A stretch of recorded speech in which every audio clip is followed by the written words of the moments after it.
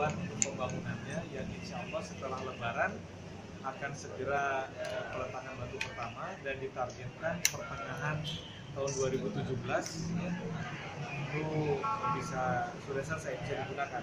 Dan tidak harus sampai gedungnya jadi duluan kalau bulan Maret tahun depan sebagian bangunannya sudah selesai, Pak Kapolres dan jajarannya sudah bisa pindah ke sana sehingga untuk operasional tugas-tugas kepolisian itu bisa lebih optimal.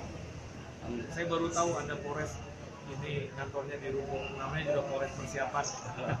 Yang penting tidak mengurangi semangat pelaksana tugas menciptakan Kaptimas yang semakin mantap di eh, kota Tangerang Selatan.